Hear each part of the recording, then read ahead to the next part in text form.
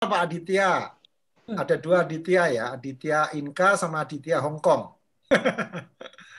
Aditya Wisesa. Oke, semuanya. Ya, selamat sore. Ya, dalam menjalankan ibadah puasa ini. Saya beruntung hari ini lagi di work from home, jadi um, lumayan masih bisa curi-curi tidur siang sedikit. Oh gitu. Ya, selamat menjalankan ibadah puasa Bapak Ibu ya.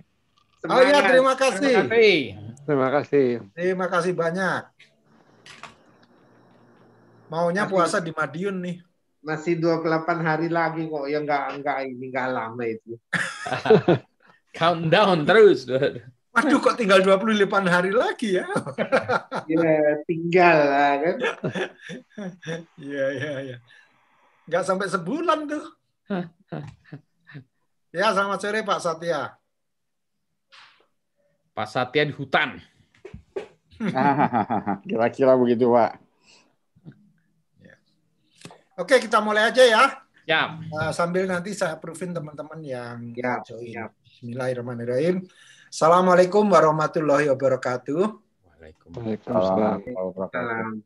Ya, selamat sore bagi teman-teman yang alhamdulillah bisa bergabung sore hari ini di Ramadan yang kedua. Mudah-mudahan ini dengan kita ketemu semakin tambah semangat puasanya ya, apalagi sudah mendekati buka puasa ya. Mungkin yang di Hong Kong nih sudah sebentar lagi buka puasa, tapi ya, mudah-mudahan sambil sambil menikmati ini. Nah, sore ini kita akan mencoba membahas, mengulas sebuah buku marketing lagi. Jadi waktu itu kita sudah membahas apa beberapa buku marketing ya. Yang terakhir The Brand Gap oleh uh, uh, Mas Zain Imtiaz dan hari ini kita membahas The 22 Immutable Laws of Marketing. Ya, jadi ini uh, buku yang uh, ke-36. Ini adalah buku-buku yang sudah kita bahas untuk refresh aja. Jadi udah ada 35 buku dan kali ini kita membahas yang ke-36 marketing. Kemudian pekan depan insya Allah kembali ke leadership lagi. Buku uh, apa karya anak bangsa, Public Leadership. Kemudian di apa pekan setelahnya adalah Mind Over Mood. Ini insya Allah Bu Oktina Burlianti yang akan membahas. Kemudian mestinya kita udah kena libur lebaran dan sebagainya. Setelah itu baru kita sambung dengan The Bezos Letter dan terakhir Rehumanizing Leadership. Nah, kemudian hari ini kita akan dipandu oleh di atau bukunya akan dibedah oleh Pak Budi Raharjo sekaligus kali uh, sebagai guest juga ya karena praktisi di bidang apa startup dan juga uh, sekaligus dosen uh, di ITB di elektro ya uh, atau informatika sekarang ya. Oke, uh, kita lanjut aja dengan Pak Budi Rajo untuk menyampaikan materi bukunya apa isi dari 22 Immutable Laws ini. Mungkin nggak 22 kali ya, karena kalau 22 capek juga ini kalau satu jam 22. Tapi nggak tahu nanti kita serahkan ke Pak Budi Raharjo, nanti kita bahas rame-rame seperti biasa. Kita juga sebagai guest. Monggo Mas Budi Raharjo, Mas Boeng silakan dilanjut dengan bahasannya. Siap. Selamat sore. Siap. Assalamualaikum warahmatullahi wabarakatuh. Waalaikumsalam warahmatullahi wabarakatuh. Ngabuburit. Nah, kita ngabuburit nih sore. Ngabuburit enaknya sebetulnya sambil makan kuaci. Oh enggak, kita bahas buku. Wah, ini keren amat buku. Jadi, uh, nah, Mas, aku minta di ini dong, ini boleh allow untuk nge-share. Uh, belum. Mestinya sudah, belum ya? Belum. Oh, sorry, sorry. Di, Coba saya, Wow. saya ah, udah, udah, sudah, sudah, sudah, Oh, sekarang sudah. sudah. Sip, alhamdulillah sudah. Nah, jadi ini bukunya keren amat ini. Jadi ceritanya saya itu ketika eh, mem- memulai bisnis itu udah tahun saya sebenarnya by accident memulai bisnis itu eh, waktu saya di Kanada, waktu saya sebagai mahasiswa eh, by accident. Nah, kebetulan saya punya beberapa mentor, salah satu mentornya keren banget itu, keren. Mentornya dia dari keluarga konglomerat yang dia konglomerat besar pada waktu itu dan yang mana dia eh, dia tidak suka kehidupan konglomerasi tapi dia sukanya eh, teori-teori bisnis segala macam. Jadi dia kabur ke Amerika malah. Nah, dia ngajarin saya macam-macam eh, MBA jalanan kira-kira gitu ya. Jadi bukan sekolah MBA tapi MBA jalanan. Kemudian salah satu buku yang dia sarankan kepada saya, yang dia wajibkan ke saya baca adalah buku ini. The Immutable Law of Marketing. Pas saya baca bukunya, nah bukunya ini memang keren amat. Yang menariknya itu bukunya tipis, ya bukan tipis saya, 140 sekian halaman lah gitu ya. Tapi eh, dibanding buku-buku lain yang tebal, nah ini buku ini enak gitu bacanya gitu ya. Jadi bacanya cepat wah ini keren amat bukunya. Tapi habis saya baca, baca lagi, baca lagi. Jadi buku ini bolak-balik saya baca gitu. Terutama bagian awal-awalnya ya. Begitu bagian awalnya saya baca, terus saya berhenti lagi merenung. Jadi bukunya ini merupakan e, buku yang saya wajibkan kepada mahasiswa saya untuk dibaca. Tentu saja ada buku-buku lain yang lebih akademik ya. Bagi saya ini ini kalau dilihat ini kurang akademik dari kacamata akademik, tapi dia lebih praktikal. Jadi lebih jalanan, street smart gitu ya. Nah, Buku ini uh, membicarakan tentang eh, uh, 22 immutable laws of marketing. Jadi kalau kita bilang uh, uh, im, uh, maksudnya kenapa sih ada laws? Nah, dia bilang kan uh, selalu ada hukum ya, uh, hukum macam-macam masa di hukum fisik ada, thermodynamics ada, masa di marketing nggak ada ya. ya. Ini kalau menurunkan rumusnya kayak gitu ya. Marketing juga harus ada dong rumusnya. Nah, mulailah dia menurunkan rumusnya. Jadi dia berdasarkan penelitiannya bertahun-tahunan dia kumpulkan berbagai marketing uh, strategis uh, macam-macam ya pro, apa brosur spanduk segala macam dia pelajari dan hasilnya adalah yang ini. Dia turunkan loss. Nah loss ini dalam artian memang bukan loss yang diturunkan tapi loss yang dia buat. Seperti kalau di bidang saya itu ada ada Metcalfe's law terus ada lagi Gordon Moore's Law, Moore's Law yang eh, komputasi komputer itu meningkat setiap 18 bulan, dua kali ya, meningkat dua kali setiap 18 bulan. Kita meremaja komputer itu akan lebih hebat dua kali setiap 18 bulan dan lain sebagainya. Itu berhasilkan empirik ya dia temukan gitu. Nah ini kayak gitu, jadi loss-nya kayak gitu ya. Immutable artinya maksudnya itu tidak bisa berubah. Ya, sebetulnya dia ini immutable rada ini juga ya, immutable tidak bisa berubah Kayak blockchain aja, immutable blockchain. Nah, ini juga itu immutable, tidak bisa berubah. Ya, menurut saya bukunya bagus ya, eh, masih relevan sekarang. Hanya mungkin contoh-contohnya yang perlu diupdate aja. Jadi masih menurut saya masih benar apa yang dia ceritakan. Ya, Nah, dia memulainya begini, jadi dia mulai dari law nomor satu, gitu ya, law of leadership, kemudian dia turunkan law-law ini, law nomor satu ini dimodifikasi menjadi law nomor dua, modifikasi itu. Jadi law modifikasi itu kalau menurut saya bisa jadi menjadi uh, memfokuskan atau exception gitu ya, tapi bagus juga dia caranya gitu ya. Jadi dia mulai dari law yang pertama sampai nanti law 22. Nah, seperti tadi Mas Toti udah sebutkan, saya nggak akan bahas semuanya, tapi saya bahas yang awal-awal aja, yang interesting aja ya nanti uh, ini ini pokoknya buku ini wajib dibaca gitu. Kalau dari semua buku-buku marketing yang ada ini wajib buku ini. Karena bukunya gampang karena ya, jadi uh, bukan sesuatu hal yang rumit ini bukunya. Contoh, nah yang pertama, yang pertama itu dia adalah law of leadership. Jadi dia mengatakan it's better to be the first than to be better. Jadi yang penting duluan, bukan masalah better atau punya tapi penting duluan the first gitu ya. Kenapa demikian? Karena kita ini ternyata tidak uh, di, uh, orang itu di wired hanya bisa mengingat satu ya. Jadi kita tidak mau berubah lagi. Kalau kita udah punya satu perception itu, ya sudah nggak akan berubah lagi. Dan pemahaman kita itu ya karena kita melihatnya yang pertama kali. Kalau kita melihat pertama kali motor ya itu ya gitu motor ya itulah bagi kita. Nah dan itu dibuktikan dengan contoh yang yang uh, dia contohkan gitu ya. Misalnya ini uh, yang contohnya memang agak kurang uh, bagi kita kita mungkin kurang Nggak gitu ya. The first person to fly Atlantic Ocean solo. Siapa? Ah, Charles Lindbergh. Pertanyaannya, yang nomor dua siapa? Nggak ada yang tahu. Sama sekarang nih, coba saya tanya, siapa orang yang pertama kali menginjakan kaki di bulan? Neil Armstrong. Armstrong. Semua orang tahu Neil Armstrong. Yang nomor dua siapa? Edwin. Bingung kan kita ya? Uh, aduh. Uh. Yang nomor tiga ya, wah udah nggak bisa lagi. Wah, tapi kita cuma tahunya nomor satu sih. Jadi ya memang normalnya manusia tuh begitu nomor satu gitu. Nah, jadi lebih baik duluan. Ah, IBM sebagai contohnya dia adalah perusahaan yang first in computer ya. Jadi IBM perusahaan komputer pertama IBM. Jadi sampai sekarang orang-orang kalau komputer di kepalanya IBM, terutama orang-orang yang lama. Kenapa? Ya karena per, dia yang pertama IBM gitu ya. IBM tuh orang yang pertama. Coca-Cola juga eh, meskipun ada Pepsi, Coca-Cola di kepala orang tuh kalau disurvei Coca-Cola ya karena itu yang pertama gitu. Ada lagi mesin fotokopi itu Xerox itu, di Xerox itu. Bahkan kalau di uh, North American itu kalau kita mau fotokopi namanya ini bisa di Xerox nggak itu ya? Tolong di Xerox kan itu meskipun di depannya itu mesinnya pakai Minolta. Tolong di Xerox kan gitu ya gitu ya. ya. Jadi selalu selalu the first ya, the first.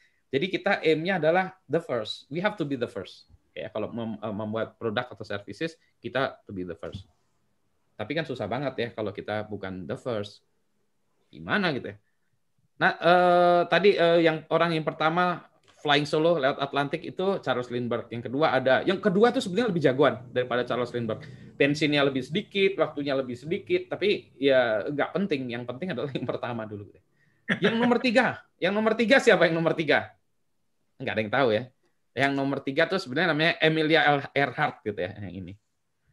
Nggak ada yang tahu. Tapi kalau disebut orang apa perempuan pertama yang ah baru orang tahu Emilia Earhart. Jadi ini yang kedua. Jadi law pertama dimodifikasi. Jadi law of category. If you can be the first in the category, ya buat kategori baru, set up new category so you can be first. Jadi kita cari, oh kita jagoannya di mana ya? Kita nggak bisa yang pertama gitu ya. Jadi karena saya bukan penerbang pertama yang lewat Atlantic Ocean, tapi kalau gitu saya penerbang perempuan pertama yang ah, gitu. Itu coba dimodifikasi lagi yang lain-lain. Misalnya tadi di dalam kepala orang komputer itu IBM. Pada zamannya itu ah, mainframe kan ya memang. Mainframe komputer itu mainframe itu. Maka DEC mikir-mikir kalau gitu saya the first mini komputer. Nah dia set up kategori kalau dia buat kategori ikut komputer si DEC ini uh, uh, si digital ini ya si DEC ini dia nggak akan bisa karena kepala orang eh, komputer ah IBM tapi kalau dia saya the first mini komputer ah orang-orang mikir kalau mini komputer ya DEC lah. Demikian pula Cray Cray itu the first super komputer ya, jadi kalau dia bilang komputer ya tapi kalau the first super komputer Cray di dalam kepala saya juga kalau dulu super komputer ya Cray gitu ya Charles Schwab dia juga sebenarnya broker, ya. tapi dia bukan the first broker, dia the first discount broker. Benar juga ya setupnya gitu ya. Nah, contoh yang kekinian, contoh yang kekinian. Nah, jadi contoh kekinian tuh gini. Kalau di North American ini dulu, sosial media sosial itu uh, di kepala orang itu MySpace. Ya, MySpace. Jadi first sosial media di kepala orang MySpace. Facebook muncul. Wah, kalau saya media sosial, saya kan udah diambil sama MySpace ya, uh, sosial media media sosial sosial media itu udah diambil. Kalau gitu dia bilang saya itu the first social media with real ID. Jadi kalau di Facebook ID-nya kan ini Budi Raharjo harus Budi Raharjo, nggak boleh pakai nama-nama yang aneh-aneh itu harus gitu. Oh, MySpace boleh pakai nama band, nama pribadi, nama samaran boleh. Nah, Facebook buat setup baru dan bahkan kategori barunya ini take over kategori yang lama. Gitu ya. Jadi kategori yang lama yang general tadi sosial media di take over sama si Facebook. Jadi Facebook mengalahkan MySpace. Jadi kalau orang lihat sekarang uh, sosial media itu. Kemudian muncullah Instagram. Instagram dia muncul, wah dia kan udah ada uh, media sosial, tapi media sosial on handphone ya, on mobile phone itu yang pertama Instagram. Dulu kalau kita lihat Facebook kan, Facebook itu kan selalu di web browser ya dulu, web browser, komputer, web browser, nggak ada aplikasinya itu. Nah Instagram muncul bahwa saya media sosial di handphone. di handphone dan fokus on ini ya gambar. Tapi saya yang pertama di handphone. Wah, si Mike Mark Zuckerberg pinter juga Mas Zuckerberg itu dia. Kalau gitu gue beli aja tuh. Dia beli Instagram ya. Jadi dia beli Instagram, jadi dia yang rajanya juga. Dan dia cepet-cepet juga buat aplikasinya eh, di mobile phone. Jadi itulah sebabnya sekarang Facebook ada di mobile phone. Tapi kalau di kepala orang, kalau yang mobile phone, media sosial apa kamu? Instagram di kepala orang-orang. Tanya aja anak-anak sekarang gitu ya. Eh, mobile phone, eh, media sosialnya apa? Instagram pasti saya kalau nanya ke mahasiswa saya, saya tanya dari 60 mahasiswa, mungkin 40 mahasiswa itu Instagram semua. Facebooknya udah kayak nggak di maintain asal ada aja gitu ya. Jadi semua Instagram gitu ya. Jadi tadi ya, jadi ah kalau kita nggak gini kita set up kategori.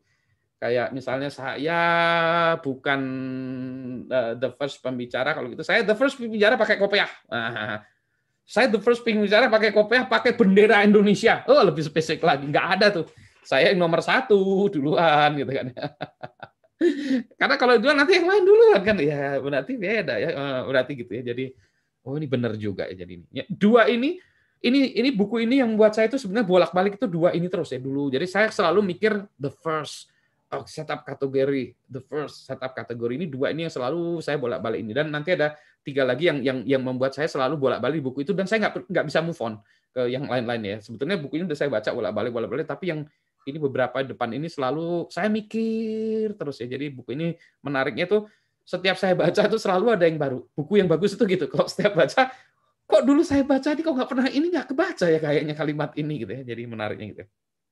Lo kategori yang ketiga. Nah yang ketiga ini law of the mind. Dimodify lagi tadi tuh. Jadi yang benarnya it's better to be the first in the mind than the first in the marketplace. Jadi lebih penting tuh sebenarnya di kepala orang daripada jualannya ya. Jadi uh, in, the first in prospects man dari customer man jadi kan the whole point of marketing kan gitu ya supaya kita ada di kepalanya orang ya. Jadi si buku ini bilang the single most wasteful thing in marketing is to try change uh, a mind ya. Jadi kalau orang udah punya gitu, ya udah lepasin aja, udah udah biarin aja, udah udah biarin aja gitu ya. Sebagai contoh, personal komputer itu sebetulnya alter 8000 ya, 8001 itu yang kit itu. Itu zamannya saya juga gitu yang namanya personal itu pakai switch cek cek cek cek cek gitu. Tapi kalau dibilang orang home komputer, personal komputer, Apple. Apple tuh dulu kan ya. Apple tuh tuh. Dan udah Padahal ini yang beneran itu yang ini gitu ya, yang keluar di pasaran, tapi di dalam mind orang tadi ya. Jadi yang betul itu adalah the first in the mind. Ya. Biarin aja dia jualan duluan, tapi di kepala orang. Nah ini gimana caranya? Bagi contoh, mainframe itu sebetulnya yang first bukan IBM sebetulnya. Univac ini the first mainframe sebetulnya gitu ya.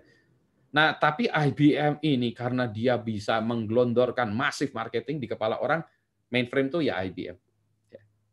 Nah, jadi tadi law yang pertama leadership dimodify jadi law nomor dua kategori dimodify lagi law in the mind gitu. Yang penting the mind. Ya gimana kita di di kepala orang itu gitu ya. Ya. Nah, yang keempat, yang keempat ini menarik, the law of perception. Jadi marketing is not a battle of products, it's a battle of perception. There are no facts. There are even no better production nggak ada ya. Jadi the perception, everything else is illusion. Sebagai contoh, kalau eh, produknya lebih bagus, Linux itu lebih menang daripada Windows. Sudah jauh ya.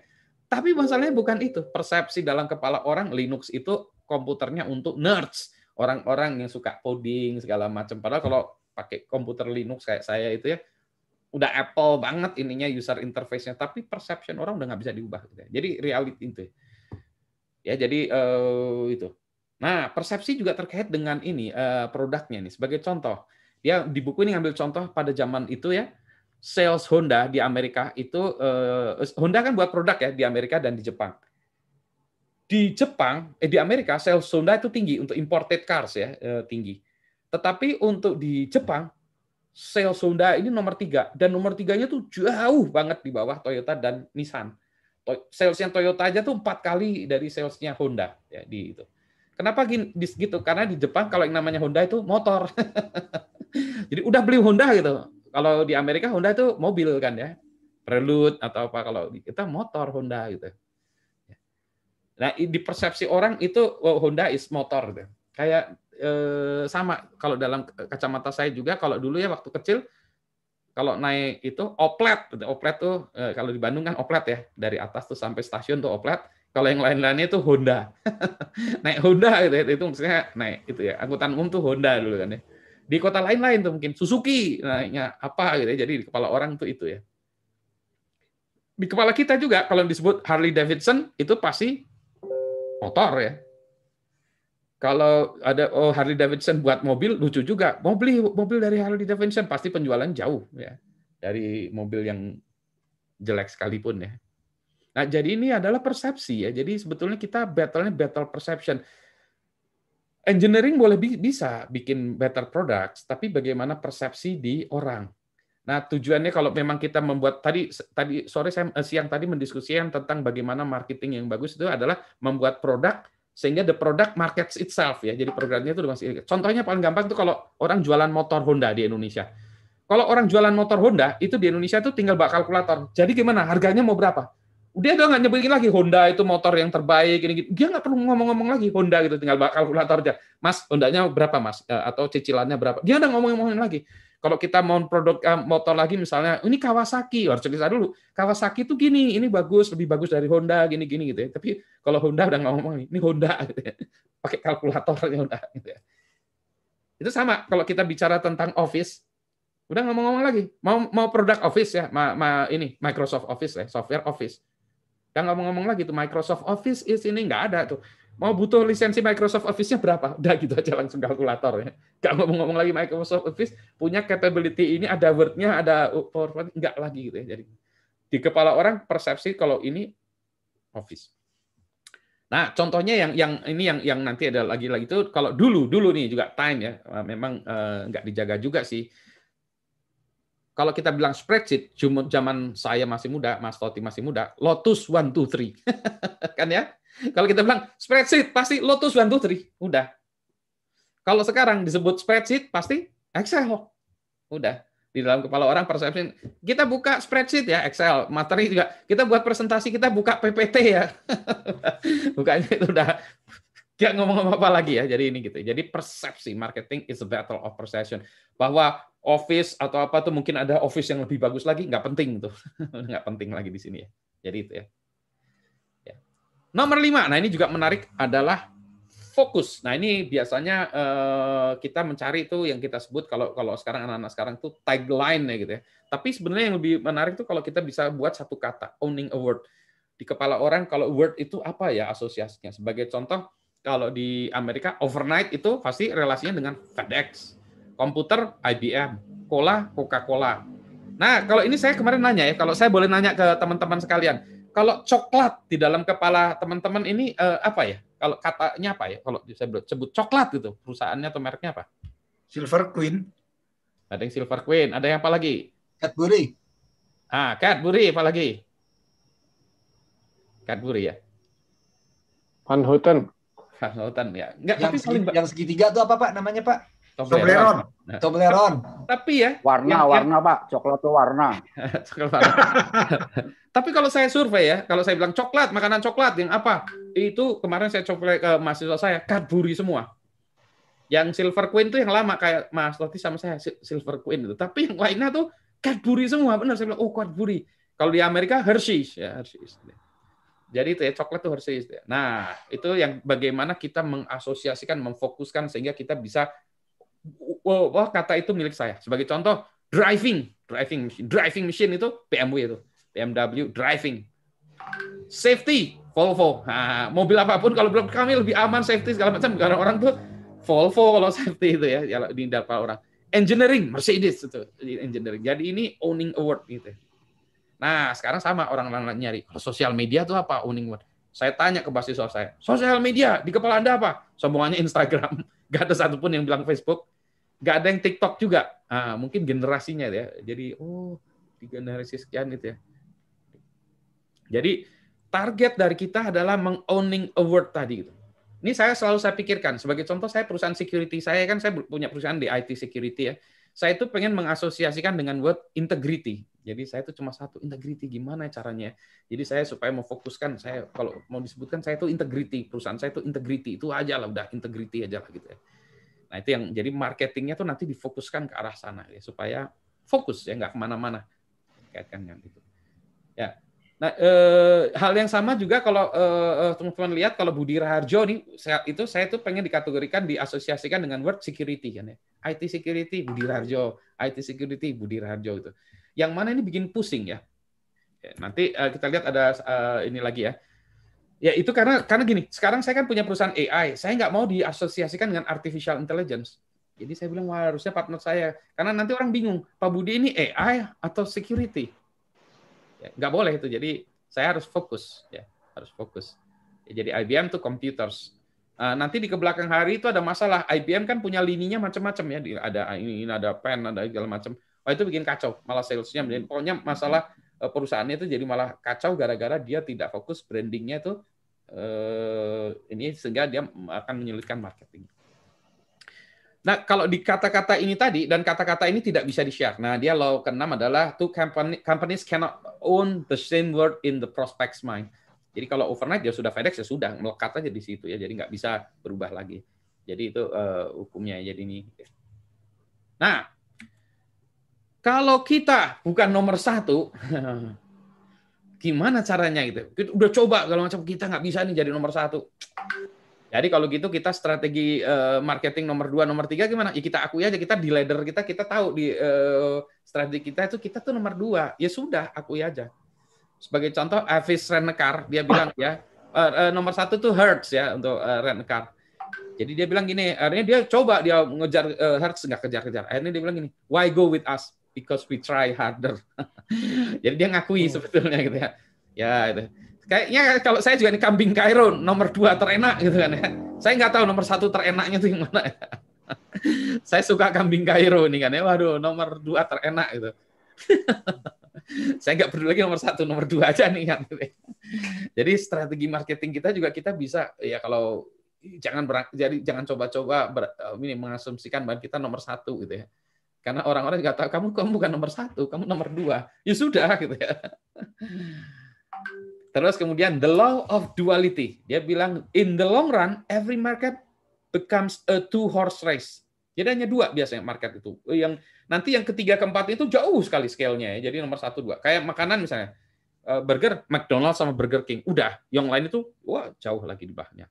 Kalau dulu ini uh, film itu kan ya Kodak sama Fuji, udah dua di atas sepatu Nike sama Reebok. Nah, itu ya, yang lainnya di bawahnya segala macam. Nah, selalu dua gitu. Kayak sekarang ini kayak uh, di Indonesia ini marketplace ya, marketplace sih saya nggak tahu udah tinggal dua atau masih tiga kan ya. Tokopedia, Shopee, Bukalapak. Kalau sekarang malah tinggal saya pikir tinggal dua ya, Tokopedia sama Shopee sekarang gitu ya. In the long Jadi Bukalapak ini bakal tewas ya. Dia kalau nggak ini kan dia memahami itu dia akan tewas karena in the long run nanti satu dua ini menguasai, yang tiga itu jauh di bawahnya gitu ya Gitu ya. Jadi ini uh, dia tunjukkan banyak contoh-contohnya ya. Oh benar juga ya. Nah, saya mau terjun, saya mau stop di nomor 9 aja ya. The law of opposite. Ya, kalau kita mencoba, ah, saya nggak akan bakalan jadi nomor satu. Saya kejar nomor dua aja ya. Berarti saya lihat strateginya uh, determined by the leader itu. Nah, perlu diingat bahwa orang itu ada yang ingin beli dari leader, tapi ada juga orang yang tidak ingin beli dari leader for whatever reasons gitu ya. Jadi nggak ada gitu ya. Jadi kita tuh jangan mencoba menggait orang-orang yang mau udah beli dari leader karena nggak akan mungkin. Tadi mainnya sudah terbentuk lah. Dia akan jadi pembeli itu terus lah. Tapi orang-orang yang nggak mau beli dari leader itu, nah itu yang kita gait. Jadi gitu. Ya. ya jadi if you are not the leader, focus on gitu ya, or unite those who don't want, who's, those who do not want to buy from the leader contoh yang bagus itu Samsung dan Apple. Ya, nanti dilihat dari eh, iklan-iklan Samsung dan uh, Apple handphone sekarang, iPhone ya sekarang itu. Jadi si Samsung itu pinter. Dia bilang gini, wah ini kalau orang-orang apa Apple fanboy emang udah pasti Apple fanboy lah. Tapi dia bilang kan ada yang lain yang bukan penggemar Apple. Ya. Nah itu yang saya kejar aja gitu. Jadi dia uh, iklannya itu dia ngejekin ini, ngejekin pelanggan-pelanggan uh, apa pengguna Apple. Misalnya Eh, iklannya lucu-lucu. Ada yang pengguna Apple misalnya Apple nggak bisa gini dia harus pakai kabel-kabel. Yang Samsung bisa pakai nggak pakai pakai wireless chargingnya. Yang Apple harus sambil di charge sambil di ini dia pakai wireless. Yang ini bisa kayak gini dia kejebur air berdua berenang kejebur air. Yang iPhone uh, mati yang Samsung tinggal dikeringin jalan lagi gitu ya gitu jadi dia ngejek-ngejek ya pengguna Apple. Karena dia tahu pengguna Apple nggak akan beli dari dia. Biarin aja dia ejek aja sekalian. Jadi dia justru mau ngambil orang-orang yang membenci Apple ya, membenci Apple. Jadi sekarang kan tinggal uh, Galaxy kan ya sekarang tinggal Apple, iPhone sama Galaxy ya, jangan perang di dunia atasnya kan cuma itu yang di atasnya gitu ya. Yang kelas atasnya itu. Yang lainnya itu di bawah-bawahnya. Nah, jadi ini menurut saya oh ini keren juga ya. Jadi buku ini tuh syarat dengan apa ya? Ide-ide yang yang menurut saya dia bilang ini setelah diteliti, ini kok kayaknya obvious ya, yang yang saya katakannya obvious semua gitu ya. Tapi justru yang obvious obvious itu memang harus diceritakan bahwa orang itu tuh kayak gini. Oh iya ya, baru kita nggak. Oh iya iya, iya oh iya ya, oh iya gitu. Jadi buku ini kontribusinya tuh dia bagus dalam memformulasikannya itu. Oh iya, oh iya, oh iya. Jadi banyak oh iya. Nah, saya eh, eh, nggak ini nanti ada banyak lagi ya, misalnya law division ini bahwa nanti satu kategori itu pasti akan mecah jadi dua. Nah, perspektif ini saya ini ya eh, tadi ini extension mau nyoba banyak akan rusak, jadi banyak lah ya. Jadi saya stop di situ aja dulu, Mas Toti. Lebih baik kita diskusi karena lebih enak diskusi. Nah, penutup saya itu begini, ini buku yang sangat baik untuk dibaca, harusnya gampang dibaca, enak dibaca, dan menurut saya kalau boleh diwajibkan ini buku salah satu buku klasik yang wajib dibaca. Gitu. Oke. Sudah ya? Sudah. Oke, terima kasih. Tepuk tangan dulu. Luar biasa. Oke, uh, sebelum kita diskusi, nanti saya persilakan misalnya Pak Satya sudah resign. Pak, saya ingin me, apa mengomentari sedikit aja sebelum ke sana. Pertama, terbukti bahwa dari Mas Boeing, Mas Budi Rajo ini bahwa marketing is for everyone, ya. Dan benar sekali bahwa uh, yang dikatakan Pak Budi tadi di salah satu law ya, Eh, kadang-kadang kita ini udah ter persepsi kita itu udah tertentu. Kalau saya melihat Mas Boeing, ini saya mengambilnya Mas Boeing karena teman saya sedang di ITB dulu ya. Uh, saya melihatnya beliau ini orang teki banget gitu ya. Kok bahas buku marketing gitu loh. Saya why gitu ya. Dan ternyata penguasa penguasaannya 100% keren banget gitu. Jadi uh, apa? pupus lah semua yang marketing marketing tadi. Saya juga udah baca apa melihat waktu kita membahas gravitational marketing, Mas Budi Rajo ini banyak uh, apa persepsi-persepsi mengenai marketing yang bagus sekali. Nah, yang kedua uh, mengenai the law of focus. Benar sekali, ini terkait dengan komentar yang pertama tadi karena saya sempat mikir sebetulnya Mas Boeing ini ahli apa ya? Ini uh, apa security atau uh, AI atau blockchain gitu ya. Nah, alhamdulillah dia sudah sadar gitu. Yang jelas saya sempat bingung sebetulnya di mana, tapi saya yakin memang dia orangnya pintar jadi bisa ngerti apa aja gitu. Cuman saya setuju bahwa kayaknya Mas Boeing ini harus fokus, harus milih antara security, AI atau satunya blockchain gitu. Terserah. Kayaknya blockchain enggak ya. Oke. Yang ketiga, ini enggak eh, terkait sama dengan yang dibahas Mas Boeing tadi. Uh, saya pengen teman-teman coba membayangkan ya saya akan menyebutkan sebuah apa makna dari dua kata yang sebetulnya dua kata ini sebetulnya ada makna ya yaitu gudang garam. Kalau saya menyebut gudang garam, apa yang ada di benak Anda? Rokok. Rokok. Rokok. Ya. Artinya apa? Saya nggak tahu ini masuk law apa, ya, tapi coba bayangkan ya. Saya waktu, saya waktu kecil itu saya bersepeda itu Bukan. di sebelahnya ini di PJKA uh, itu. The 22 immutable laws of marketing. Ya belajar lah Oke. Okay. saya pikir tadi beliau mau mengomentari ini nih. Ya, artinya gini, waktu itu di dekat di Madiun di dekat PJKA, sekarang Inka ya, itu ada gudang garam, benar-benar gudang garam.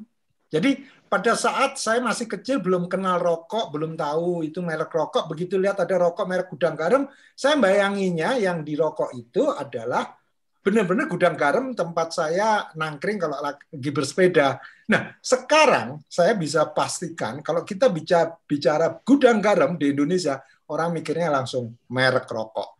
Ya, nah ini luar biasa. Ini nggak tahu nanti kita bahas di mana, tapi intinya ini bisa merubah mindset orang ya bahwa makna sesungguhnya gudang garam itu menjadi sekarang rokok bukannya garam bukannya gudang gitu demikian uh, mungkin uh, nanti kita sambil jalan kita bahas tapi saya persilakan Pak Satya karena sudah resign silakan Pak Satya nih dosen marketing juga nih Uh, terima kasih Pak Gatot, terima kasih Pak Budi uh, waktunya. Tapi izin ini ya, izin Eh, kalau diperkenankan, kalau enggak ya enggak usah. Izin sedikit mengkritik mengenai buku tersebut, boleh Pak Budi? Oh boleh banget. Boleh dong. Oh selalu harus boleh. Nah, oke nah, oke. Okay. Bukunya untung bukan saya pengarangnya, jadi marilah iya. kita kritik rame-rame. Oke oke. Eh, ya, yang yang yang menarik dari buku itu memang pengarangnya Alris and Jack Trout. Mereka itu eksekutif periklanan yang bukunya yang fenomenal sehingga saya baca buku itu adalah positioning ya itu eh, sudah 30 tahun lebih tapi sampai sekarang masih dipakai yang namanya STP itu masih dipakai. Dan dan di Indonesia tokoh terkenal marketing pun berusaha merubah itu ternyata nggak berhasil. Ya dia coba new wave marketing dia coba uh, Seven C gitu ternyata nggak berhasil. Jadi uh, itu yang satu itu menurut saya immutable lah gitu.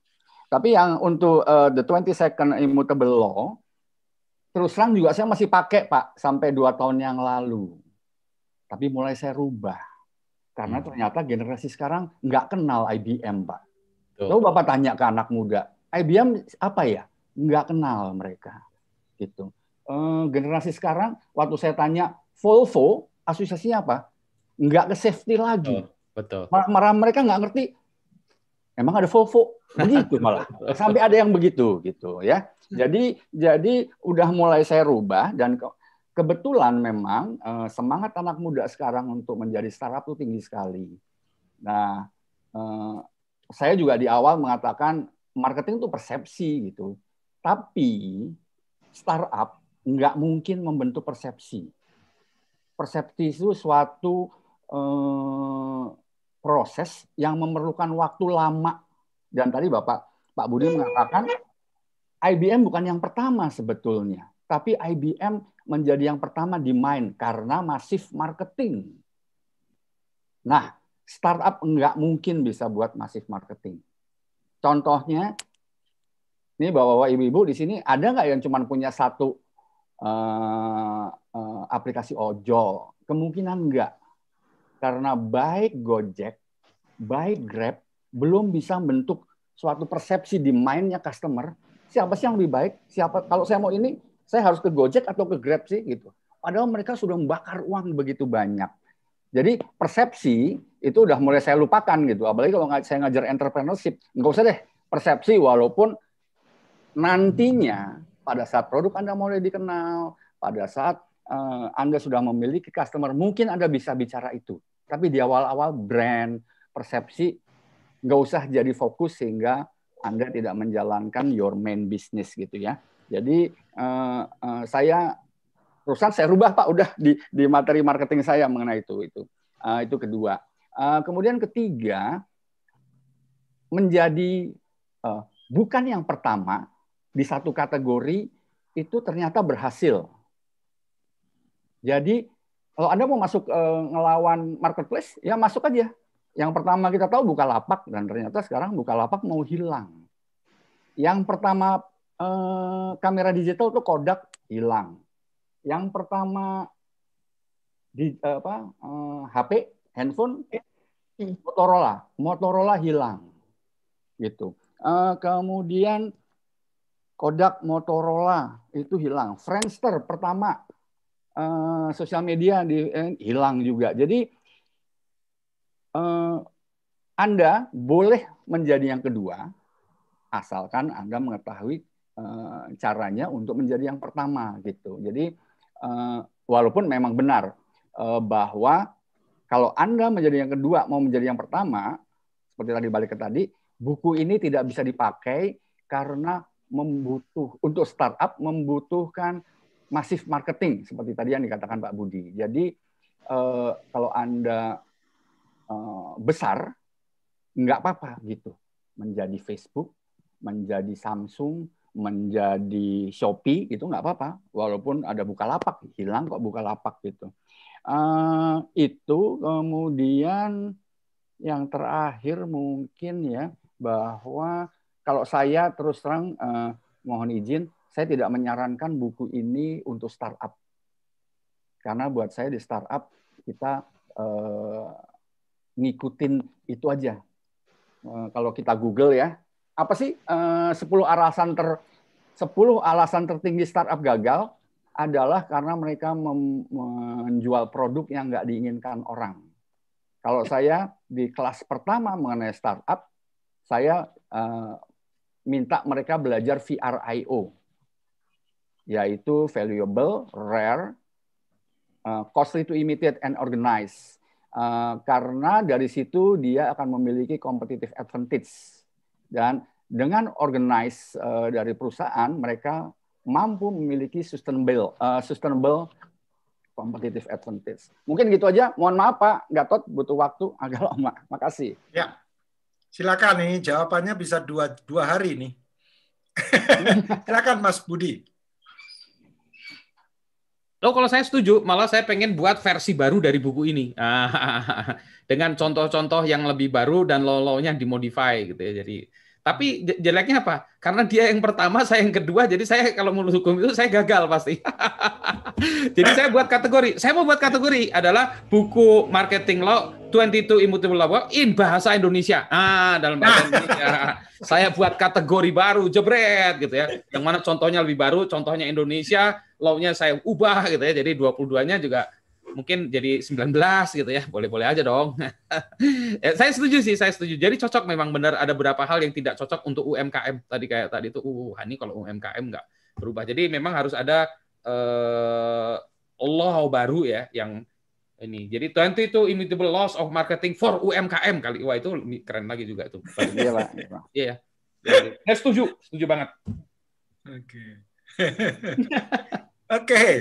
Dari yang lain teman-teman? Dari yang non marketer nih menarik nih. Eh, coba saya ya. Assalamualaikum Mas Budi. Waalaikumsalam, Bu Ah, selalu senang dengarnya semangat terus. Aduh, saya lagi puasa juga jadi semangat nih. Kalau Mas Budi selalu gitu tuh. eh, eh, ya. Yeah. Itunya apa eh, kata-katanya, intonasinya membuat orang semangat ya.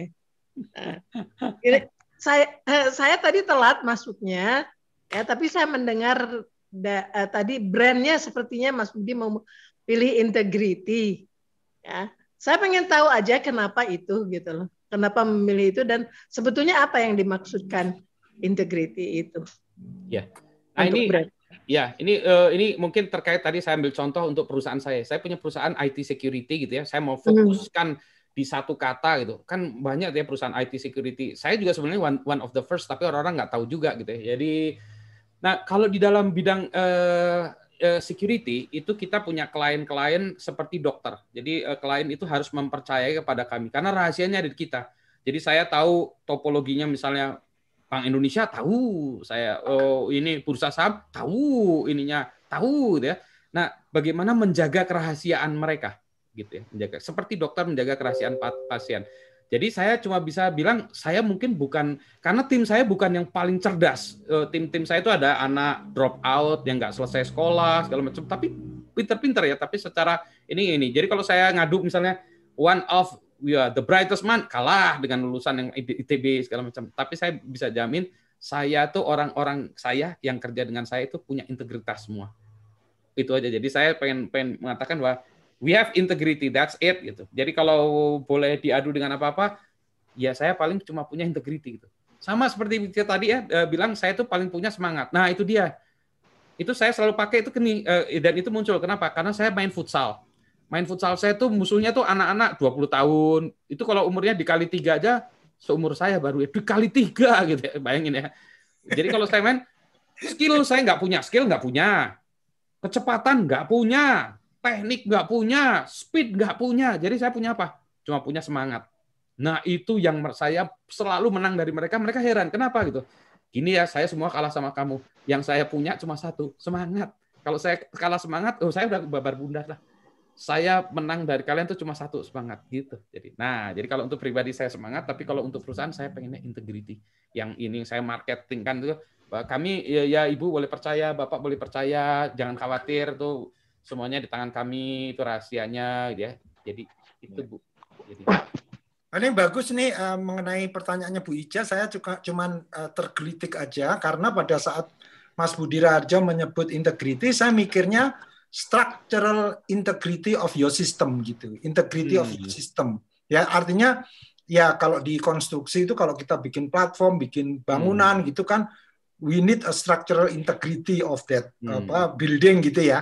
Nah, ternyata waktu dijelaskan tadi integrity yang benar-benar integrity yang kaitannya dengan kejujuran, dengan disiplin, follow the apa the rule dan sebagainya hmm. dan uh, itu keren banget, keren. Tapi karena perusahaannya security juga, it can apply to that juga gitu loh. Jadi Betul. it's up to them mereka mau interpret bahwa itu integrity-nya tuh sistem integrity atau person integrity atau integrity as a character of the people gitu.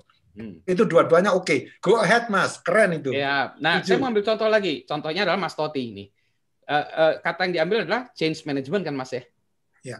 Ya, jadi kalau orang mau tahu maksudnya apa, brandnya adalah satu itu adalah change management brandingnya. Jadi kalau di kepala sekarang saya kalau ini change management, ya Mas Toti lah ya kalau ini. Jadi itu sudah mulai masuk di kepala saya itu gitu.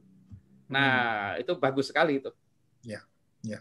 Dan itu juga bukan saya yang ngasih tapi teman saya. Karena teman saya tahu dia ini ya udah saya pakai itu aja terus ya. udah mate sampai ya, sekarang. Udah bagus lah. Bagus.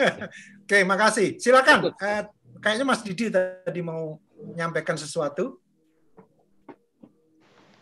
Pak Didi? Ya Pak, ini sinyalnya lagi jelek nih Pak. Oh oke, okay. oke. Okay. Ya, silakan yang lain. Jelek nih Pak. Yang lain ada lagi teman-teman?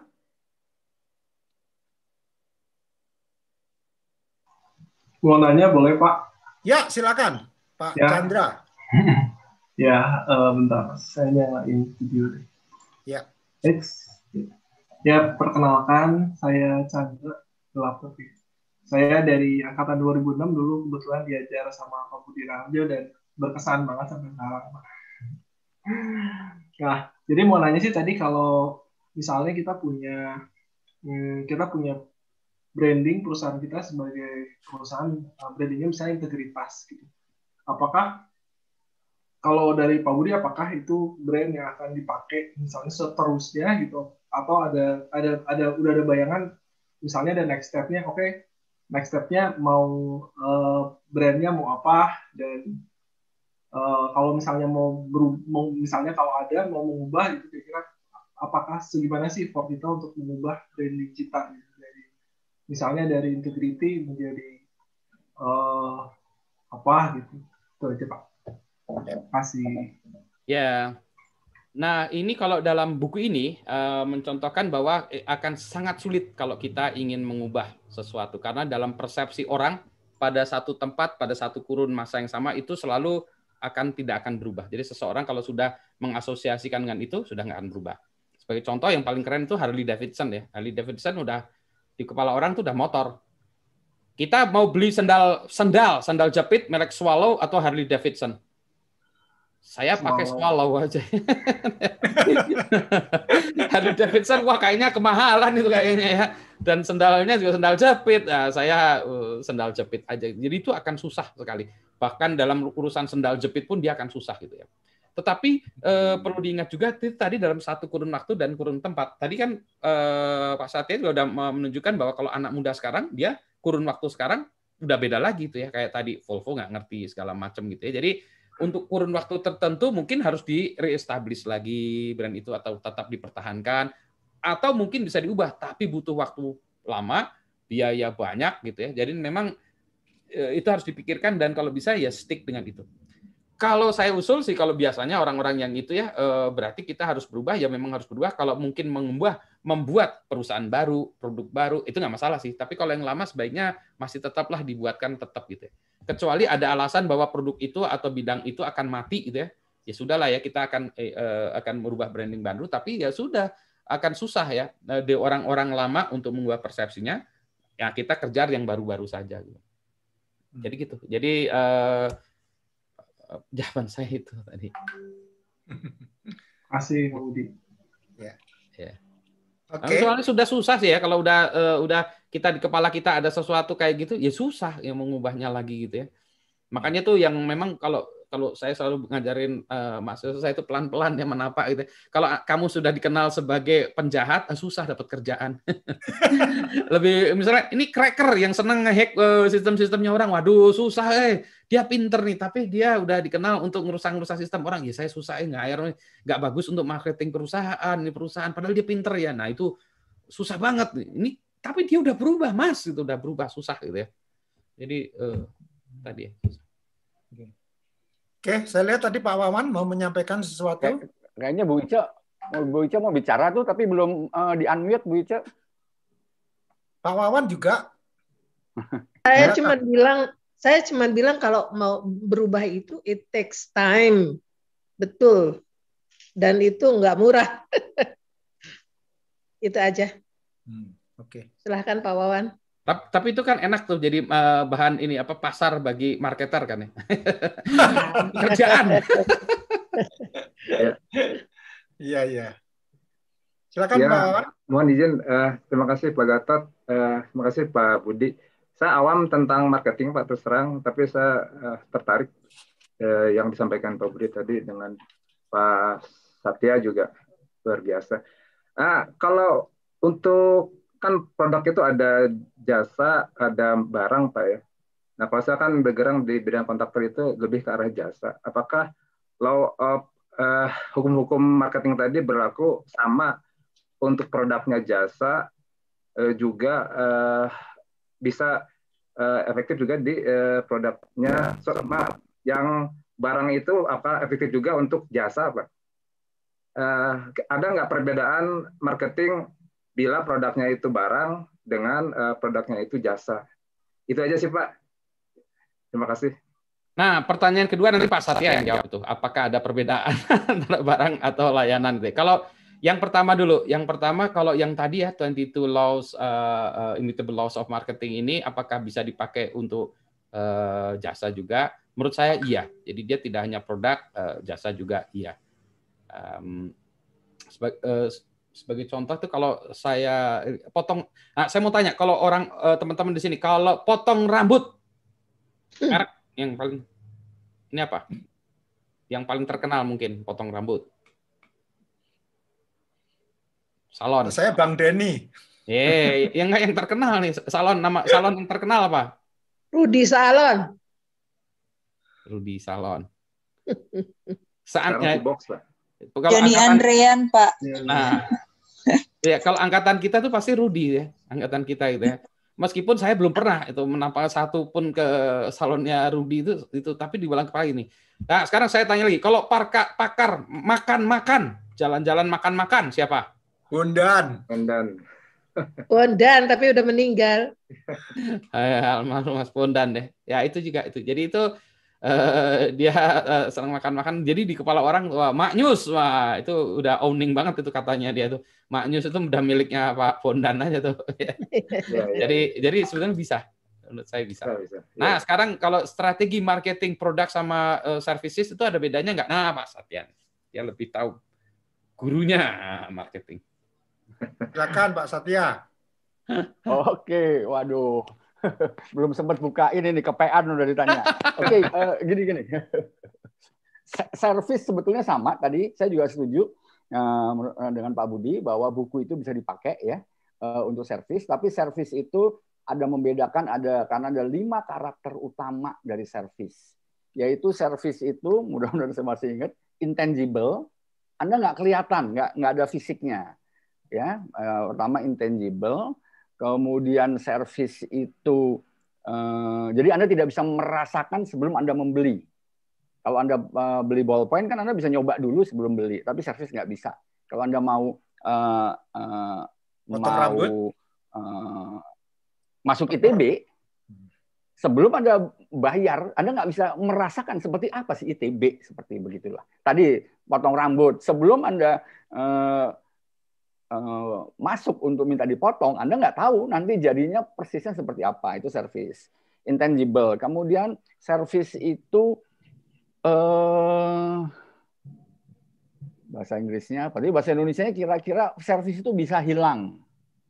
Kalau sebuah pesawat terbang berangkat jam 7 ke Denpasar, kapasitas 100 penumpang, 100 kursi. Kalau pada saat terbang dia hanya berangkat 8 dengan 80 kursi terisi, yang 20 kursi sisanya nggak bisa dipakai ke penerbangan berikutnya. Jadi nggak bisa penerbangan berikutnya menjadi 120. Begitu. Ah, kemudian servis itu variabel. Ya. Ah, servis itu varia- variabel. Anda datang ke restoran pada jam setengah sebelas pada saat berbuka. Servis yang Anda terima akan beda dengan pada saat jam 12-an pada saat lagi sibuk-sibuknya. Hmm. Begitu. Ya, ya. Itu servis. Kemudian servis itu eh, tergantung siapa yang memberikan servis. Jadi Anda mau dengar eh, konser eh, siapa ya Noah ya, konser Noah itu penyanyinya Ariel. Tapi kan Anda mau datang ke konser Noah, tapi kalau Ariel lagi sakit diganti penyanyi lain itu nggak jalan. Apalagi diganti Budi Raharjo. Nah, barangkali mantep Pak. Saya jadi ingat kalau Kalau angkatan kita Pak Budi Rajo, kalau eh, gunting rambut itu happy salon Mbak yang di Dago Pak. itu Bandung Pak. Kalau Bandung itu pasti itu. W W. Udah nggak ada lagi ke kalau kita gunting rambut. W. Jadi, jadi karena servis punya karakter itu, untuk servis Anda harus mempertimbangkan proses. Proses, bayangkan kalau Anda mau masuk ke men- eh, diopname. Kalau bisa sih, kalau mau di- eh, bisa sih customer maunya pada saat wah sakit harus diopname, masuk datang rumah sakit langsung diopname. Ternyata kan enggak. Kalau Anda BPJS ke puskesmas dulu, ngantri dulu, daftar dulu, dapat surat dari puskesmas ke rumah sakit, daftar lagi, ngantri lagi, ngurus bil-bil lagi, terus nunggu ada kamar gitu. Karena itu banyak eh, orang berobat ke Singapura, ke Malaysia karena di sana kita telepon ada yang mengarrange begitu kita sampai Singapura sampai ke Malaysia langsung masuk kamar gitu. Proses. Kemudian physical evidence. Dulu eh, MBA ITB itu bukan dulu sih sekarang pun MBA ITB itu di eh, Jalan Gelap Nyawang yang eh, sebelumnya asrama. Asrama apa ya namanya? Asrama F ya apa barak ya? Merah. Jalan merah. MBA ITB Gelap Nyawang. Barak. Barak ya. Oke, barak. Eh, kalau Anda melihat ke sana, eh, lihat MBI gedung MBI ITB yang dulu asrama barak, Anda nggak tertarik masuk ke sana. Ini asrama kok jadi eh, sekolah yang katanya the best business school ya in Indonesia. Tapi eh, karena itu physical evidence juga dibutuhkan untuk servis. Terakhir, yang paling penting dari servis itu people Hmm. manusia karena manusianya itu yang melakukan the moment of truth yang mendelivery service itu manusia the moment of truth eh, dari service itu kualitasnya tergantung manusianya nanti ada ada lagi panjang lagi jadi kira-kira begitu dulu Pak Pawan terima kasih Iya, banyak terima kasih. Pak Setia luar biasa. Terima kasih banyak Pak Setia Pak Budi. Oke. Pak Gatot.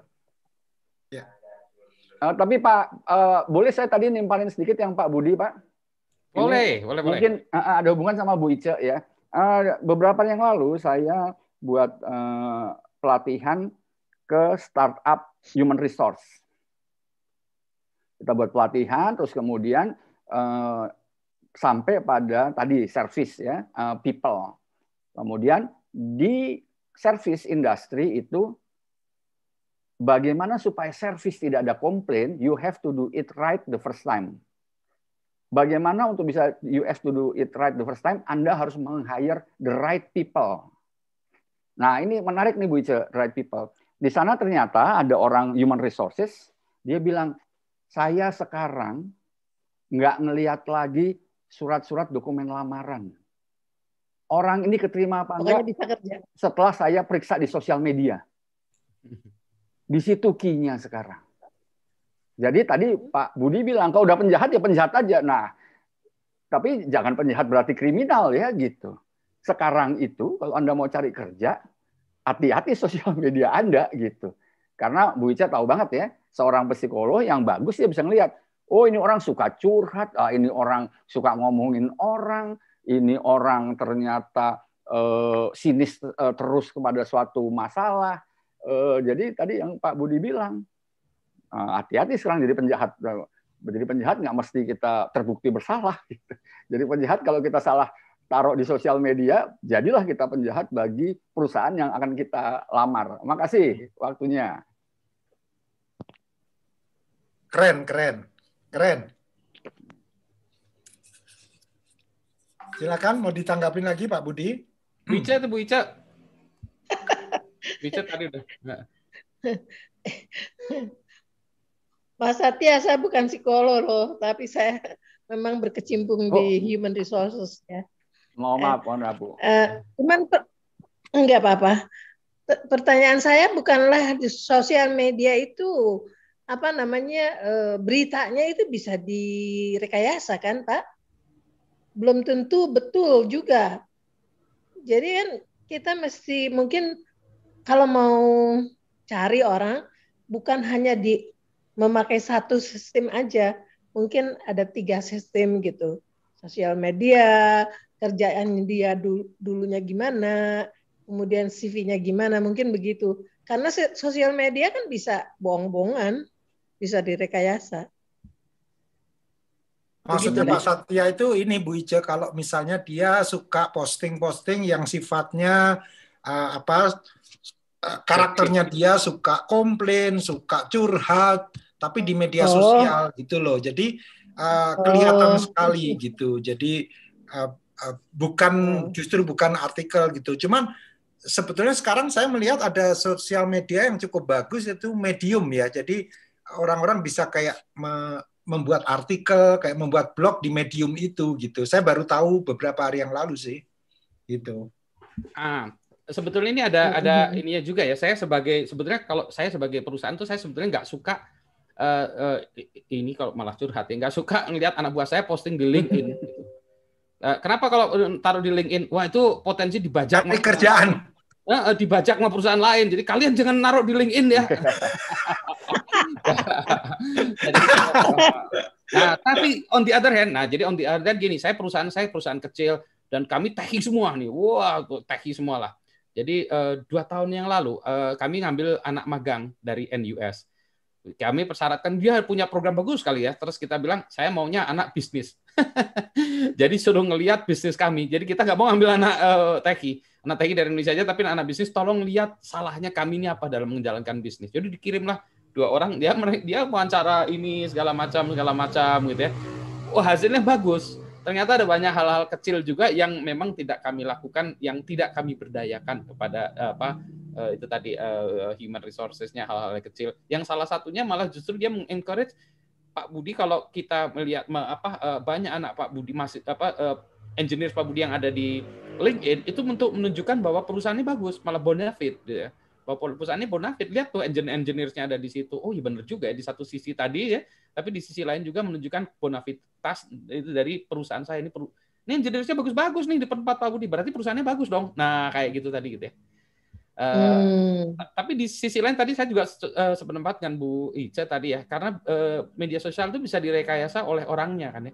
Orang bisa kelihatan baik-baik di eh, sosial media gitu ya, tapi sesungguhnya dia sebetulnya eh, ini dugal gitu ya. Atau sebaliknya, saya melihat orang-orang yang dia di media sosialnya ganas segala macam gitu ya, tapi begitu saya ketemu dengan orangnya, ini kok lembut orangnya kenapa ya? Dia jadi kayak semacam dual personality. Sosial media itu eh, membuat orang menjadi berbeda gitu. Jadi bisa juga begitu. Jadi ya, tetapi nah, tetapi on the other hand para pakar-pakar psikolog itu mah udah pasti bisa ngelihat ini mana yang bohong, mana yang enggak itu udah pasti bisa ngelihat. Mau direkayasa juga mana dia bisa bilang itu kayak ngelihat anak kecil mulutnya selemotan coklat. Kamu habis makan coklat ya? Enggak, gitu ya. Udah selemotan coklat. Pasti udah kelihatan. Saya bilang ya pasti kelihatan. Ya, kayak- Tapi bagi orang-orang biasa kan ya kayak saya saya kan nggak tahu. Oh ini kelihatannya orangnya baik-baik aja ya gitu. Atau orangnya wah ini kayaknya jahat nih, kejam nih orangnya gitu ya. Orangnya baik banget ya orangnya itu malah santun, baik gitu.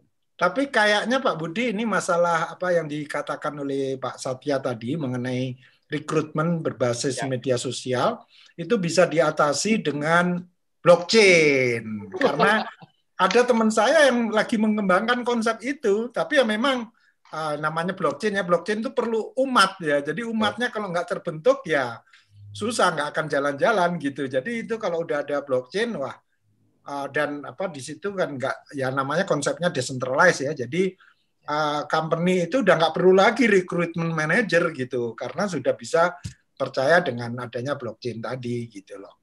Ini agak-agak nyambung dikit dengan topik yang dulu Pak Budi Rajo pernah membahas Mas Budi gitu Nah, kalau balik lagi ya ke tadi persepsi ya, ada saya satu orang yang saya kenal baik, dia bagus orangnya, eh, tapi dia dipersepsikan sebagai hacker waktu itu ya, karena dia pernah pernah pernah ngerusak sebuah sistem dengan tujuannya baik sih sebenarnya. Ya kan tu- tujuan baik tapi tetap aja dia pernah ngerusak sebuah sistem gitu ya.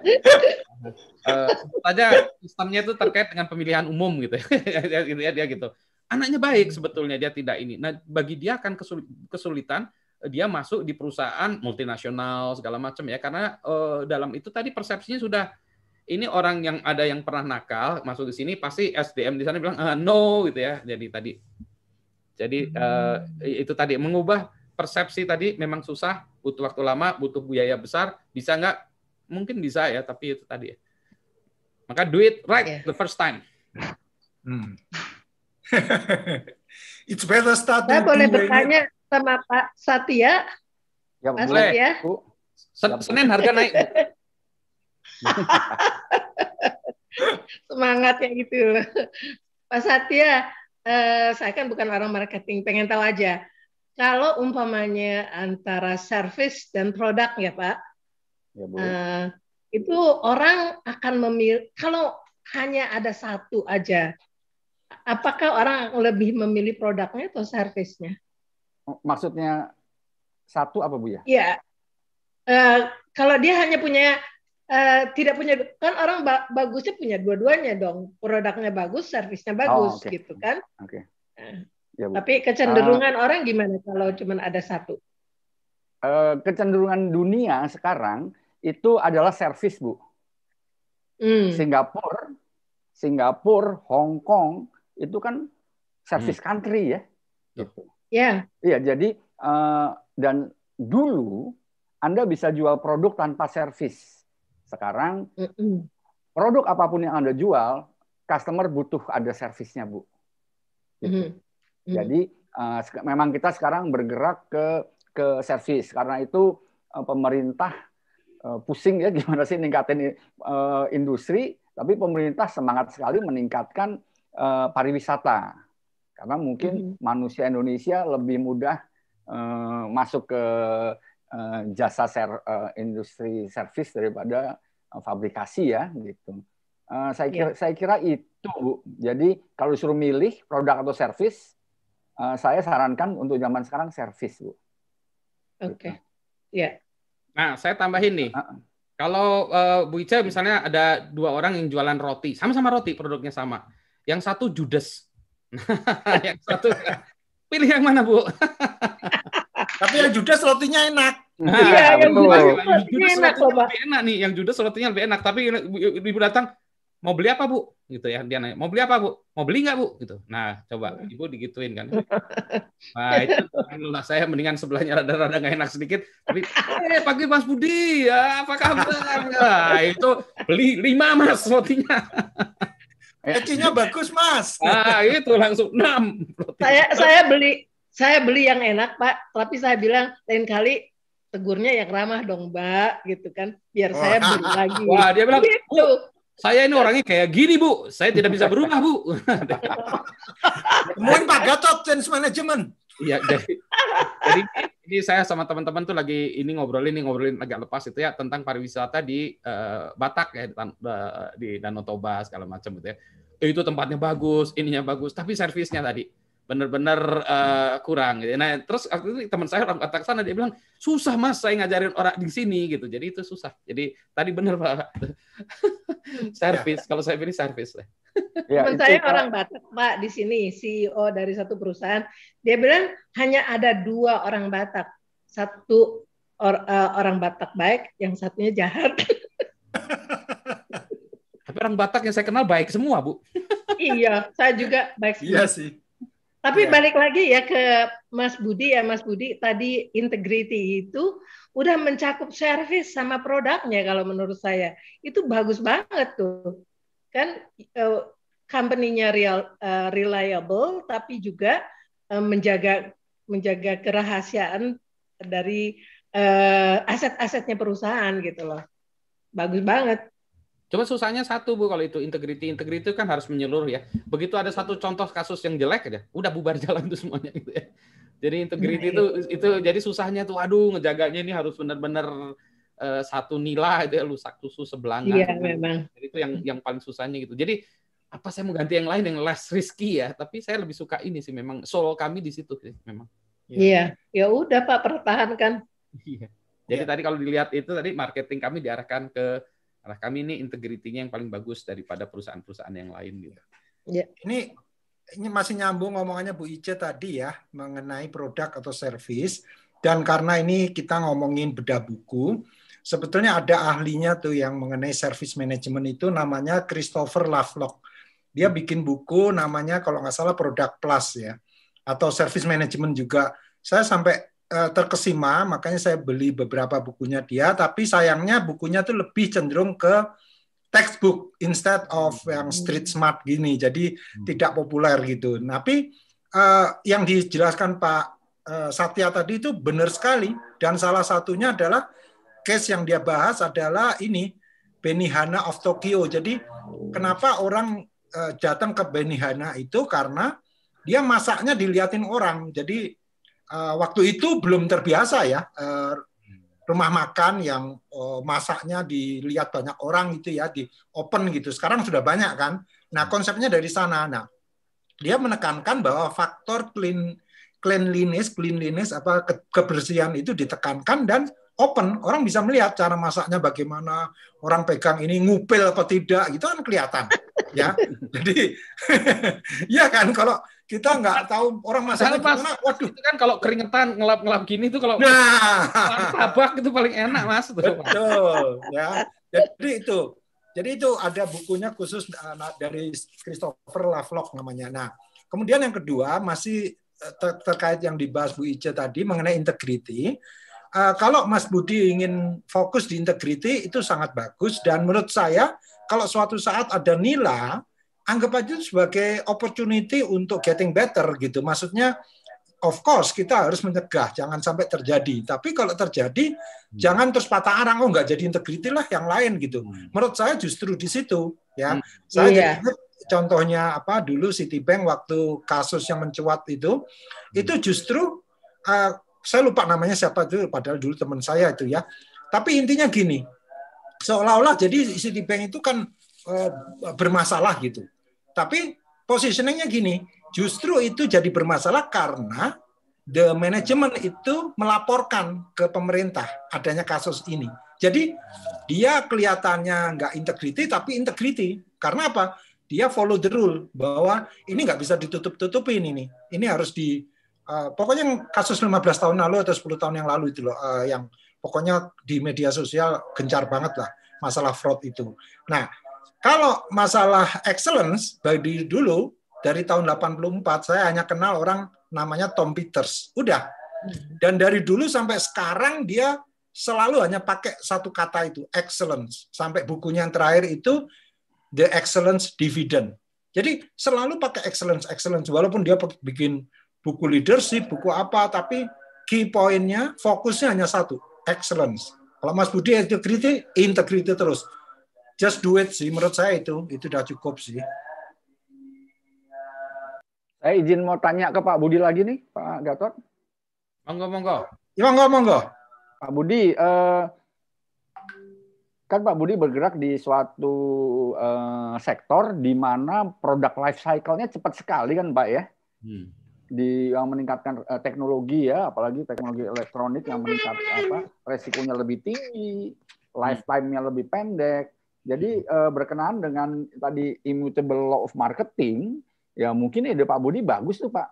Coba coba kita pikirkan apa yang membuat uh, marketer sekarang yang anak-anak muda itu cara berpikirnya sudah berbeda gitu. Dan apakah yang tadi 22 hukum-hukum itu masih ada yang uh, nempel di dia gitu Pak. Kalau saya sih terus terang uh, saya masih setuju itu bahwa uh, the first kategori aqua akan selalu tetap aqua, tapi kenyataannya sekarang teh botol orang ke teh pucuk. Hmm. saya nggak tahu kenapa ya. Hmm. teh botol orang uh, ke teh pucuk ternyata bisa juga dan uh, mungkin Mbak, saya nggak tahu, mungkin karena uh, pengaruh digital marketing ya itu karena pada saat buku itu dibuat 27 yang tahun yang lalu tuh belum ada internet hmm. uh, mungkin digital marketing mungkin juga teman-teman di sini udah nonton film sosial dilema dan uh, The Great Hack hmm. uh, mengenai kekuatan sosial uh, media dan ternyata Trump bisa menang kemudian Inggris memutuskan keluar dari EU Brexit itu hmm bukan dipengaruhi oleh bahwa Trump lebih baik. Hmm. Bukan dipengaruhi oleh bahwa Inggris lebih baik di tetap di EU, tapi dipengaruhi oleh yang itu Cambridge Analytic dengan mengatakan jangan milih si siapa Hillary ya, jangan milih oh, Hillary. Hillary. Bukan bukan karena Trump pilih Trump karena eh, Trump lebih baik, tapi yang dikatakan jangan pilih Hillary gitu. Jadi mereka jadi pilihnya Trump. kayak di Brexit, masif campaign di sosial medianya adalah Anda itu sebetulnya merugi tetap jadi EU. Mereka nggak membicarakan indahnya kalau Inggris uh, terpisah gitu. Jadi uh, uh, mungkin kalau kita bisa itu Pak, uh, saya ikut-ikutan itu loh Pak, jadi narasumber Pak kalau Bapak mau buat buku hukum marketing di zaman nggak jelas ini gitu Pak. Makasih Pak. Kalau menurut saya kebalik justru karena kali ini harus Pak Satya, saya yang ikutan karena brandingnya Pak Satya itu marketing, Budi Raja Information Security lucu Pak. Nanti kalau saya buat buku marketing Pak. Jadi meskipun bagus saya nggak nggak nggak nggak mau Pak karena tadi ngerusak branding saya itu Pak. tapi tapi saya pengen, saya pengen, saya pengen. Jadi nanti saya ikut di belakangnya gitu ya. Atau ya pokoknya gimana pun yang brandingnya yang muncul Pak Satya. Jadi saya harus tetap harus di belakang. Meskipun saya kerja keras juga tetap harus Pak Satya. Kalau dari segi branding kan gitu Pak ya. Tapi saya setuju Pak. Nah cuma di dalam buku ini dalam buku ini dia cerita sebetulnya eh, yang saya tadi juga sudah ungkapkan itu Lotus One Two Three. Lotus One Two Three itu kan spreadsheet ya dalam kepala orang kalau zaman kita dulu kan Lotus One Two Three ya. Eh, sebetulnya kalau spreadsheet yang pertama itu sebenarnya physical dulu, terus kalau bisnis itu multi plan sebenarnya. Eh, Microsoft tuh punya multi plan sebetulnya duluan sebelum eh, Lotus One Two Three ya. Tapi yang di kepala orang tuh Lotus One Two Three karena ya mas, mas, banyak lah alasan ada fiturnya segala macam. Nah, kenapa kok Lotus One Two Three hilang ya? Nah, saya baca-baca itu sebetulnya hilangnya itu karena dia dibeli oleh eh, IBM. Nah, IBM itu nggak fokus karena dia mau mana mana mana mana mana mana dan salah satu strateginya yang dia membuat fatal waktu itu eh, ketika dia buat OS 2 membuat OS 2 operating systemnya OS 2 dia bilang seolah-olah ke grupnya IBM kita fokus ke OS 2.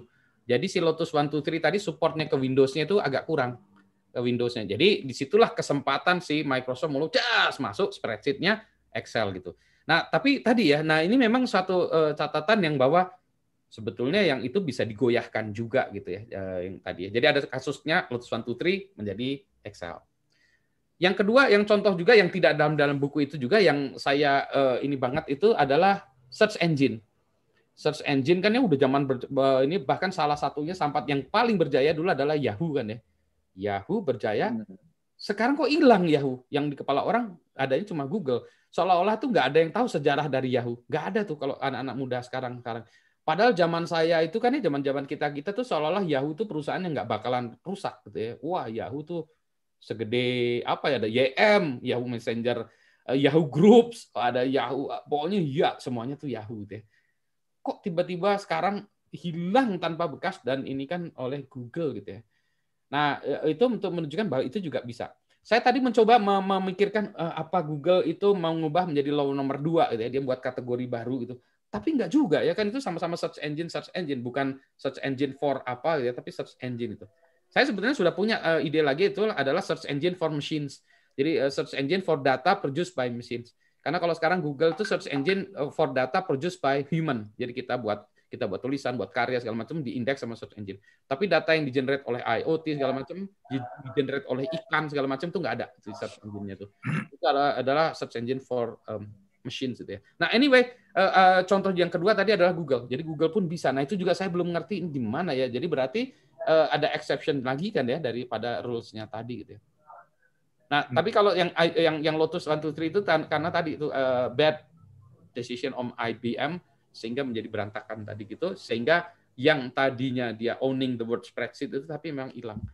Jadi uh, owning itu bisa ada decay-nya uh, untuk generasi dan tempat sehingga memang harus di uh, di ini ya rejuvenate ya lagi diinikan lagi dan di tempat-tempat lain. Yang berikutnya lagi adalah eh, tadi owning juga itu tergantung dari tempatnya kan ya. Kayak tadi Honda itu kan kalau persepsinya kalau di Indonesia saya nggak tahu di Indonesia, tapi kalau di Jepang Honda itu motor, di Amerika itu mobil, Nah, kalau di kita, nah, saya Honda itu kalau di bayangan saya itu motor sih Honda ya. Motor dan mobil yang kecil itu ya. Oh, hmm, karena ya. motor saya dulu Honda ya, Honda itu C70 itu kan ya. Honda bebek gitu. Honda bebek. Nah, jadi gitu. Jadi ya nih, tapi oh, ide buku itu bagus sekali sih. Saya senang dengan banyaknya kalau banyak makin banyak buku di Indonesia saya makin senang sih. Jadi kalau ada orang buat buku, wah saya sih ikut. Oke, itu Mbak Tanti, Resen, silakan Mbak Tanti. Mungkin ya, terakhir. Ya, baik. Uh, dukung Pak Budi, Pak Satya nih untuk bikin buku, soalnya uh, terutama kalau terka, terkait digital marketing ya, karena uh, internet di Indonesia tuh usersnya uh, saya baru dapat datanya tuh katanya nomor 4 di dunia di bawah Cina, India dan uh, Amerika. Jadi uh, pastinya kita kalau bikin buku yang ala Indonesia tapi bicara tentang internet users Indonesia menarik sekali itu Pak. Terus satu lagi uh, yang Excel gitu ya Microsoft sekarang udah saya mulai dengar banyak perusahaan yang mulai bergeser ke Google Google Docs ya Pak gitu. Google Slides, Google Sheets. Jadi uh, itu mungkin uh, apa namanya karena mungkin teknologi dan mungkin karena ada pengaruh digitalnya tadi ya pak bisa sharing online segala macam. Jadi uh, didukung pak ditunggu bukunya. Ya terima kasih. Terima kasih sharingnya pak. ya. siap yang tadi ya Google Docs betul orang lari ke sana tapi jangan salah tiba-tiba Microsoft kan dengan 360-nya tuh ya selalu ke sana juga kan sekarang. Uh, PowerPoint-nya online, spreadsheet-nya online. Uh, jadi sekarang ini masih pertempuran dua itu ya. Jadi di yang yang komputer yang desktop menang Office jelas ya Microsoft Office jelas. Di online apakah Google Docs uh, apakah sama uh, Microsoft 360 360-nya jelek eh saya nyobain nggak uh, benar-benar nggak suka saya gitu ya. Uh, tapi UI-nya jauh lebih bagus daripada Google Docs gitu ya jadi ini aliran aja nanti kita lihat itu antara iPhone dengan Android lah kira-kira gitu ya gitu. Oh iya, saya sebelum lupa tadi ada satu yang mau saya ini ingat juga, klinik. Jadi ini ada klinik. Tadi dibahas juga tentang marketing ya. Pak Satya tadi mention sedikit, tapi sebetulnya if we know what they want, nah itu key-nya kan sebetulnya kita pengen mengetahui yang orang tahu di sana itu ya. Nah, uh, ini kemarin uh, tadi itu dibahas juga dengan Pak Buntoro, dia pada satu saat tahun tahun 80-an dia pengen belajar itu tadi bagaimana uh, apa ya uh, marketing jarak jauh. Klinik bukan klinik. Kalau saya tahu kan di Indonesia itu kan jagoan ya klinik klinik. Wah saya tahu dia pengennya apa tuh? Oh dia pengen pengennya motor Honda atau apa gitu. Oh dia sanggupnya dia satu setengah juta. Willingness to pay-nya tahu. Nah kan itu kan ya yang susah itu. Nah sekarang orang lihat itu dari uh, sosial media. Tapi kalau dulu gimana? Nah, saya sebetulnya ada ini juga ya yang hal yang nyeleneh juga. Saya pengen uh, cari orang-orang Indonesia yang tetap menekuni ilmu-ilmu Indonesia ya yang yang susah di ini kan dengan nalar gitu ya. Yang yang bukan perdukunan ya, tapi ilmu-ilmu uh, ya tele apa ya tele apa gitu kan ada ya. Saya sendiri tidak mengwitness, tapi kan orang ada yang itu. Jadi itu harus ada yang pelajari secara keilmuan ya. Nah, itu diterjemahkan oleh Pak Buntoro waktu itu ya. Marketing jarak jauh itu adalah zaman itu adalah dengan buat kalender. Jadi dokter dia kan hospital equipment. Jadi cara saya mempengaruhi dokter-dokter itu dengan ngirim kalender. Jadi di depannya itu ada kalender. Jadi kalau dia ngeliat kursi roda, lihat kursi roda ada di depannya gitu. Jadi itu ya. Jadi dia caranya adalah saya menyulap Mas Toti itu saya kirimkan kalender, kalender zaman dulu. Kalau sekarang kan sosial media di blasting. Nah, nanti ada satu buku yang saya pengen ini juga adalah surveillance capitalism Mas Toti itu nanti cerita. Itu menarik juga tuh. Bagaimana tadi uh, Satya udah bilang tuh uh, bagaimana kalau saya tahu Pak Satya ini 57 eh, aspek atau berapa puluh aspek ya Pak Satya ini, oh dia sebentar lagi pengen buat kopi misalnya. Dia langsung saya tawarin kopi gitu. Tiba-tiba dia beli karena dia udah saya udah tahu jam segini dia pasti gitu. Atau kalau kondisinya kayak gini, kesedihannya ini postingnya kayak gini, pasti dia akan beli bakso tahu. Ah, bakso tahu atau apa mie bakso atau apa gitu ya. Jadi itu uh, ini kok jam segini mau keluarnya contohnya makanan semua nih. Jadi uh, jadi gitu. Uh, nanti kita ini yang yang surveillance capitalism tuh bukunya bagus. Saya baca terengah-engah ya baru berapa halaman. Bukunya luar biasa dan itu tapi berat bacanya susah ya. Oke. Oke, keren, keren. Buku-buku asik, buku-buku. Memotivasi Pak Satya untuk membuat buku. Bukan saya, Bapak aja. Oke. Sip, pokoknya terima kasih ini uh, sore ini uh, luar biasa walaupun ini Ramadan, puasa semua tapi masih semangatnya tinggi dan uh, apa sebelum kita akhiri saya mau sedikit summary dari catatan saya. Jadi pertama terima kasih kepada Pak Mas Budi tadi yang sudah membahas sembilan law ya. Dan sembilan law ini tentu ya dikatakan bahwa itu immutable ya kan. Dan kemudian tadi dikritisi sama Pak Satya bahwa ini nggak bisa 100% eh, kita jalankan. Tapi menurut saya, ini sebagai penutup, buku ini tetap nggak salah. Karena dia bilang kan, violate them at your own risk. Ya, dia punya punya caveatnya dia. Udah, jadi bukunya nggak salah. Karena dia bilang tetap yang namanya nomor satu itu penting. Dan terbukti bahwa ternyata tidak juga teh botol menjadi teh pucuk dan sebagainya gitu ya. Jadi uh, itu diruntuhkan sekarang. Tapi secara buku masih tetap berlaku walaupun law-nya jadi ada yang kita break-break uh, the law. Kemudian yang kedua, apakah ini berlaku juga untuk andekan kita masih setuju bahwa ini uh, 22 hukum ini memang immutable, apa berlaku di bidang jasa sama dengan di bidang uh, produk ya? Ternyata jawabannya sama ya. Dua-duanya bisa di berlakukan. Mau produk kayak mau jasa itu bisa dilakukan. Jadi ini diskusinya panjang lebar tadi. Yang ketiga, saya ingin menggarisbawahi salah satu law yaitu law fokus karena ini menarik dan dari awal Pak Budi membahas ini menggelinding terus dijahas sampai masalah integriti, kemudian Bu Ica juga memberikan masukan, Pak Satya juga ya. Dan saya melihat bahwa integriti atau apa pun yang kita ambil itu menjadi penting. Karena terima kasih juga Pak Budi karena tadi melabelkan saya dengan change management. Berarti saya full teman saya itu benar saya ini orang change management gitu ya. Jadi ya udah saya pakai itu aja selamanya gitu loh.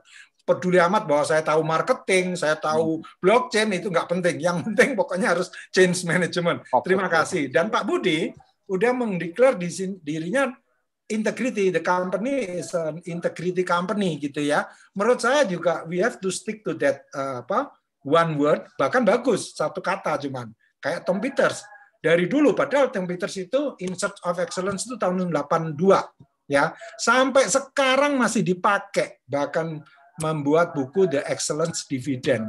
Dan itu nggak pernah dia tinggalkan. Terus seperti itu.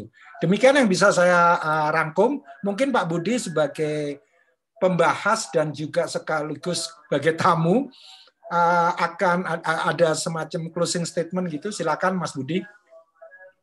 Cuma satu, ini bukunya menurut saya uh, pantas, bukan pantas mungkin, wajib untuk dibaca ya karena bukunya sangat mudah, eh, nggak nggak panjang, bukunya uh, gampang dicerna uh, sebagai sebuah kalau uh, nggak bukan untuk orang marketing aja, one kali dibaca selesai. Hmm. Oke, okay. Baik, terima kasih Mas Budi Rajo atas apa pemaparannya dan ulasannya yang luar biasa, penuh semangat. Ya. Ini mau buka malah tambah semangat. Bu Ica dari tadi ketawa terus nih. Oke. Terima kasih. Terima Wassalamualaikum warahmatullahi wabarakatuh. Terima kasih Pak Satya juga. Terima kasih. Mantap, mantap. Terima kasih semuanya. Ya, mantap. Makasih semuanya teman-teman yang sudah bergabung.